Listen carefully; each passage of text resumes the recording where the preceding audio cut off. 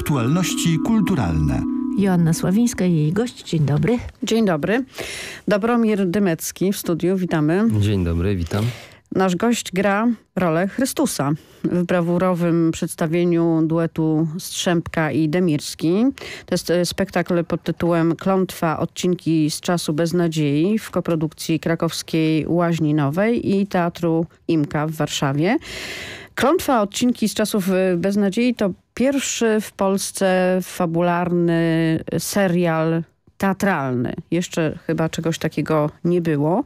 Jak to się wszystko zaczyna? Otóż 457 posłów na Sejm Rzeczypospolitej ginie jednego dnia, ale w różnych okolicznościach. E, potem następuje gwałtowna śmierć e, członków Państwowej Komisji Wyborczej, a więc następuje koniec systemu parlamentarnego. Jest tam też upadek mediów, jest ucieczka prezydenta. No i wszyscy stają w obliczu Chrystusa, który powraca na ziemię, by zaprowadzić porządek, nowy porządek. I to właśnie nasz gość e, gra e, tę postać. E, czy to jest sztuka o końcu naszej demokracji, o końcu parlamentaryzmu, o czym właściwie tak jak, jak sądzisz, co jest właściwie taką treścią mm, przewodnią tego spektaklu? E, czy o końcu parlamentaryzmu, to nie wiem. E, chodzi raczej o, o, zbudowanie takiej fantazji, czy, czy takiej wizji, e, w której e, jakby państwo i jego struktury się rozpadają. To znaczy one przestają funkcjonować, a nagle do władzy e, dochodzą zjawiska trochę paranormalne, zjawiska takie spoza takiego rozsądnego... Mm, E, e, z jakiegoś rozsądnego świata. No i do tego wszystkiego ponownie na ziemię stępuje Jezus Chrystus. Jako postać taka mm, zaprowadzająca nowy porządek, albo raczej przywracająca ten porządek, który kiedyś, który kiedyś miał e, e, jakieś podwaliny, albo pod które te podwaliny chciał, żeby był budowany ten świat. I ten Chrystus to jest właśnie Dobromir Dymecki, czyli ma postać wysokiego blondyna, 1,90 m, no, półnagi. Taki jestem. No, taki po, po prostu jesteś.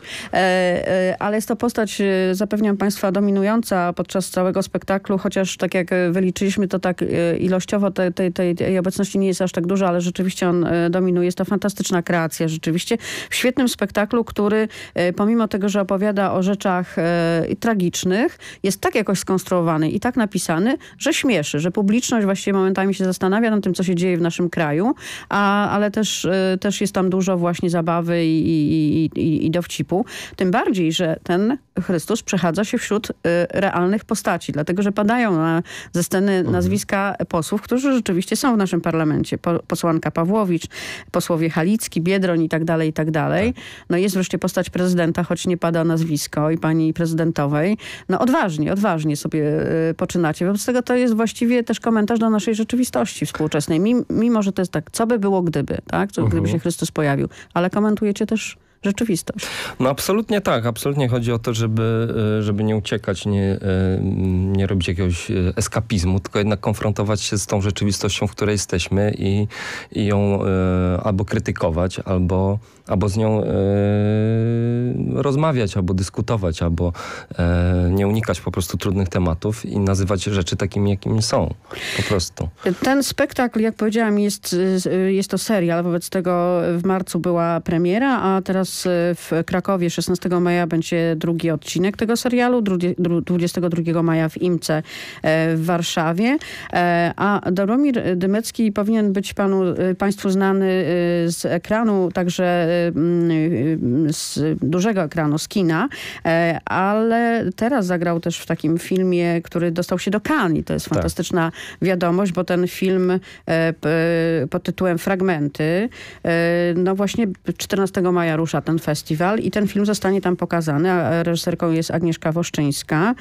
E, o czym opowiada ten ten, ten, ten, e, ten film? film? jest e, zbudowany z takich luźnych fragmentów, e, pokazuje po prostu e, Życie małżeństwa z życia, tak, współczesnego. Tak, współczesnego małżeństwa, które jest na, na, w jakimś kryzysie, no tak naj, najprościej mówiąc, prawda?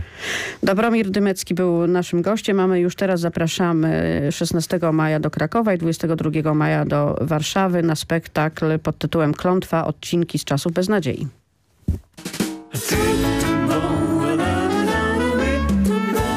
Radiowa Jedynka. Muzyka i aktualności.